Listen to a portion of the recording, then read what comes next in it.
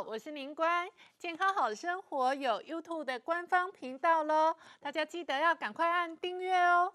接下来，黄景龙师傅也要分享健康好料理。呃，对，今天教大家来用紫地瓜做一个非常好吃的肉饼。好，那肉饼主要它里面就是猪的绞肉，那里面呢本身已经有放了一点酱油、米酒，还有胡椒粉。最主要是要加一颗的蛋下去把它润滑哈，因为这个肉饼它的做法是跟一般的像你做肉丸子是要打水，那我们今天不打水哈，今天要加的就是像有一些水分的湿那个蔬菜，洋葱切碎，对对，把这个大量的洋葱把它加进来哈，稍微搅拌一下，然后再是健康的这个胡萝卜末，一样切末，对，把它加进来，然后再就是芹菜末哦，这个肉饼就是它的香气才会够哈。好，好，那再来就是因为这个肉我们需要。一点的粘度哦，我这边会加少许的这个太白粉，好，这不要太多哈，让它这个粉可以再带到里面，嗯，让肉稍微有点粘度哈。那再来就是要加两样东西哈，就是这个非常健康的紫地瓜，好，那紫地瓜因为如果你没有蒸过的话，直接下去。放的话，这个紫地瓜不会熟，嗯，所以我这边会先大概把它蒸大概五分钟的一个熟度，好，好，然后让它保持一个口感在里面，这样子哈。好，大概蒸了五分钟，五分钟就拿出来。切丁有熟啊，对对对，降低它的水分，拿出来，对，然后它也不会说整个太烂这样子哈。那再来呢，就是紫地瓜它的甜度很好，但是它的香气我用一点。芋头丁下去，哎，这是芋头切丁，一样先蒸过吗？对对，要先蒸过，大概五分钟就好，千万不要太多哈，太太久时间拌拌下去，你会吃不到它的口感这样子哈。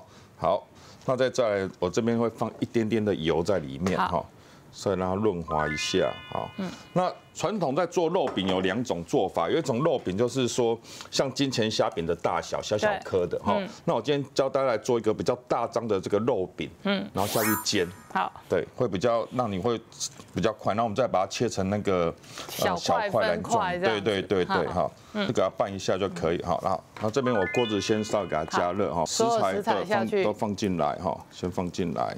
中间慢慢的放哈，然后我们可以用这个锅铲压它，锅铲稍微把它压平，对，让它塑形，对对对，塑形就可以了哈。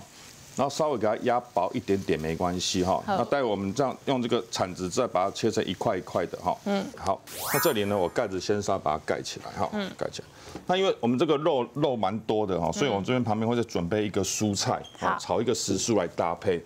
嗯，那这边炒时蔬跟大家分享一下，会准准备了一些像这个。哦，这个是呃芥兰花，哦，它是非常好吃。但是芥兰花一般大家在炒的话，它可能要有一些小技巧跟大家分享哈。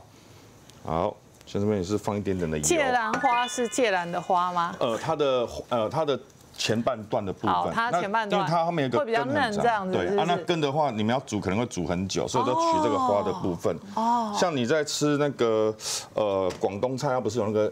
芥兰嘛，对，就它前面的这一段的部分，哦，这是芥兰花，对，好，好，放一点油一样哈，我们先放一点的蒜末哈。哎，对我发现广东人很爱搭芥兰，对，但因为芥兰我们一般在炒的时候，它后面有多一根它的心的部分，所以那个地方我们如果你皮没有去掉哈，还没有先用水穿烫过，你去炒那个地方会炒得很久。好，对，好，好，我们爆香蒜末，对，然后再来搭配一点生香菇，香菇，对，生香菇都下下去，把它稍微做一个炒香的一个动作哈。嗯，然后这里有一个就是玉米笋，玉米笋，对。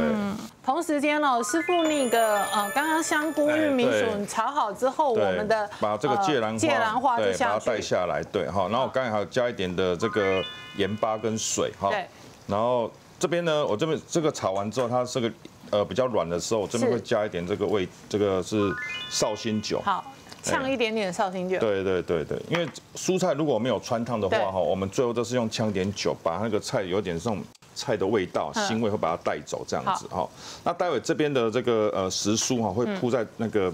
呃，我们的盘子底部，那，盘子底部，对对对，做一个时蔬的一个搭配，对，好，好，那这个肉饼的话，原则上我这边先大给大家稍微看一下哈，哎，它的油脂已经稍微出来了哈，而且它这边看起来就下面已经都已经熟了哈，对，那这个肉饼要翻面吗？哦，没有没有，这不用翻，不用翻哈，我们待会因为。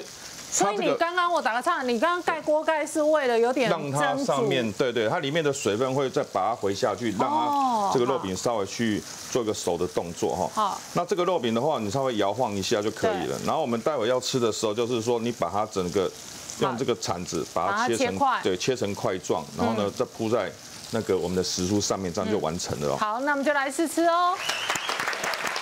黄师傅这道料理真的是推荐给各个早餐店都非常适用哦。以往我们在早餐店都会遇到什么呢？生菜沙拉、肉饼、蛋，然后果汁都分开来，可是那个味道都不是很好哦，肉都又干又柴。可是像师傅这一道料理真的非常棒，它的地瓜每一个地瓜丁都裹着猪肉的那个咸香味，而且还有点点带有点辣味体味。最主要它的那个菜啊都很用心的在处理，吃起来有点酒香，所以这个层次非常丰富，适合每一天的早餐哦。说到早餐的重要性，我觉得现在的孩子啊，为什么越来越多过敏？我觉得跟早餐有很大的关系。你看二十几年前孩子的早餐是什么？地瓜稀饭。可是现在孩子的早餐是什么？